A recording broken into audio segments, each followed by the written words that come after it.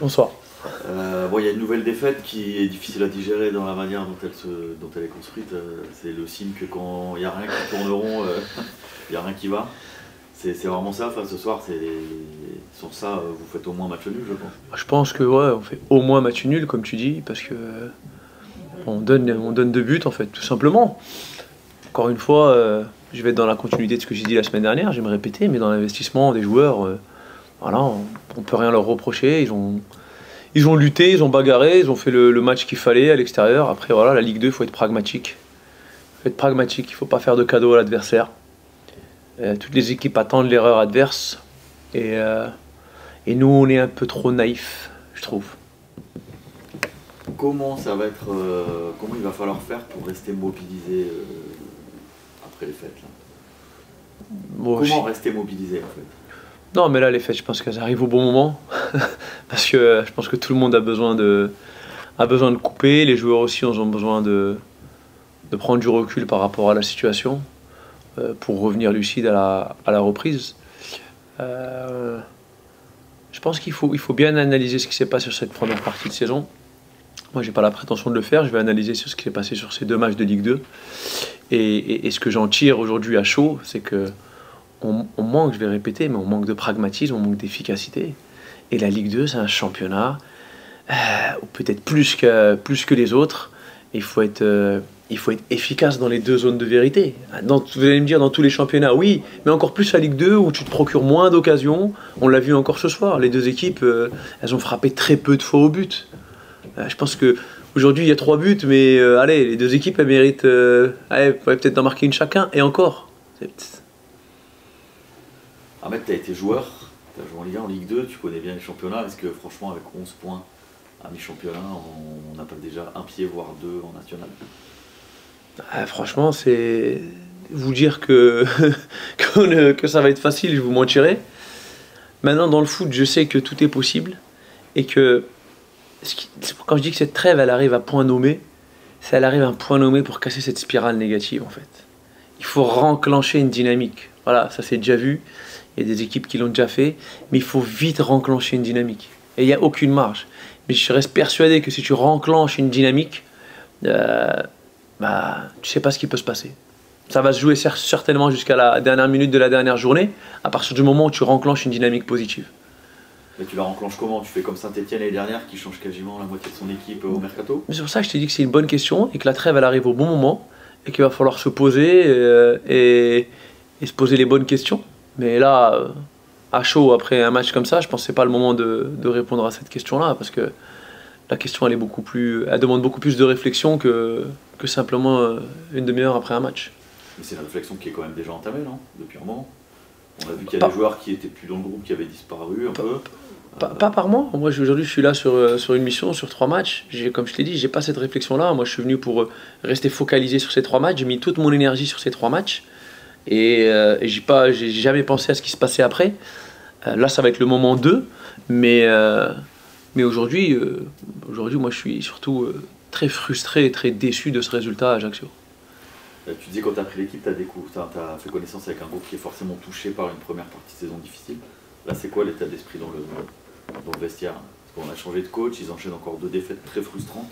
Ouais, après, attention, il faut, il faut toujours analyser les, deux choses. Euh, sur un match, le contenu, le résultat. Le résultat, il est négatif et on est jugé sur les résultats. Ça, j'ai aucun problème avec ça. Maintenant, euh, sur ces deux derniers matchs, il y a quand même eu un investissement qui a été important de la part des joueurs. Euh, prendre zéro point sur ces deux matchs-là, c'est franchement pas cher payé. Et, donc les joueurs, bah forcément, ils sont déçus. C'est plus de la déception parce que par rapport à, à l'engagement qu'ils ont mis sur ces deux matchs, prendre zéro point, c'est là où tu vois que tu es vraiment dans une, dans une spirale négative et, et qu'il n'y a rien qui tourne en ta faveur. Et tu comprends que ce soit difficile à entendre pour les supporters, ceux qui aiment le club, que oui, on a fait mieux, mais on a encore perdu. bien sûr que c'est difficile à entendre, mais c'est difficile à vivre, je pense, pour les joueurs en premier. Aujourd'hui, euh, on ne cherche pas d'excuses, la situation, euh, elle n'est elle est pas bonne. Euh, et, et, les joueurs, ils font le maximum. Ils font le maximum pour essayer de, de sortir de cette situation. Ils n'y arrivent pas. Mais aujourd'hui, j'ai vu personne tricher. Je pense que euh, tout le monde a vu le match, et les joueurs ont, fait les choses, souvent maladroitement, je le concède, je suis d'accord, Mais il n'y a pas un joueur qui a triché dans l'investissement. la reprise, c'est le 28, c'est ça? C'est prévu le 28, ouais. Le 28. Avec toi alors Je sais pas. c'est demain que y a des discussions Ouais, on va discuter tranquillement. On va rentrer déjà à la maison. Et puis, voilà, il y a une semaine, les joueurs ont, ont, cette semaine pour, pour couper. Ils ont un programme pour travailler aussi pendant les vacances parce qu'ils ont besoin aussi de travailler. Donc euh, couper mentalement, mais pas couper euh, totalement physiquement. Je pense qu'il y, y, a du travail à, effectuer. Et puis, euh, voilà, tout, le monde doit, se remettre en question, tout le monde doit se poser les bonnes questions pour, avancer. Mais le club de, de, Valenciennes, voilà, le VFC ne mérite pas d'être là par rapport à l'histoire de ce club, par rapport aux supporters qui aiment ce club. Aujourd'hui, moi, ça me fait mal de, de, voir le club dans cette position au classement, dans cette situation. Donc, c'est ouais, difficile à, digérer. Par rapport à l'opération maintien que tu as menée l'année dernière avec, euh, avec brio, euh, là ce qui s'annonce, on va imaginer que tu restes l'entraîneur de l'équipe, euh, c'est bien plus difficile, non? Ah, Je l'avais dit, de toute façon, c'était rien à voir. C'était totalement, totalement différent. J'avais dit qu'il y avait un livre qui s'était fermé l'année dernière. Là, c'est une mission qui est, qui est beaucoup, beaucoup plus compliquée. l'année dernière, c'était une mission commando sur, sur deux mois. Euh, là, il, restait, il reste encore énormément de matchs. On n'est on pas sur... Euh, on n'est pas sur les mêmes, sur les mêmes leviers et, et, la dynamique, il faut l'inverser différemment. Il faut l'inverser sur de la durée, en fait. Euh, il faut construire des choses. Je dis pas que l'année dernière, on n'a pas construit, mais je dis que l'année dernière, voilà, on a, on a enclenché rapidement la dynamique, on a surfé dessus, avec des, joueurs qui connaissaient le championnat, des joueurs qui connaissaient la Ligue 2, et ça, ça, ça a permis de gagner du temps. Aujourd'hui, on, voilà, on voit qu'il y a beaucoup de jeunes joueurs, beaucoup de joueurs qui ne connaissent pas le championnat. Et on voit, juste à prendre l'exemple de cette équipe d'Ajaccio, hein. équipe très expérimentée, avec un coach très expérimenté qui connaît la Ligue 2, euh, et c'est pragmatique. Voilà, je, c'est pas. Voilà, il n'y a, a, pas, de, y a pas de, de, recette miracle. Je pense qu'il faut, euh, il faut avoir du pragmatisme dans cette division. Il faut, et tant que les joueurs n'auront pas compris ça, ça va être compliqué. Et donc pour en avoir et avoir de l'expérience, il faut faire venir euh, des éléments expérimentés euh, pour le mois de janvier? Oui, de toute façon, je pense que les, dirigeants sont conscients qu'il doit y avoir un, réajustement de, l'effectif. Comme je vous l'ai dit, moi je ne suis pas rentré dans ces, dans ces discussions-là jusqu'à présent.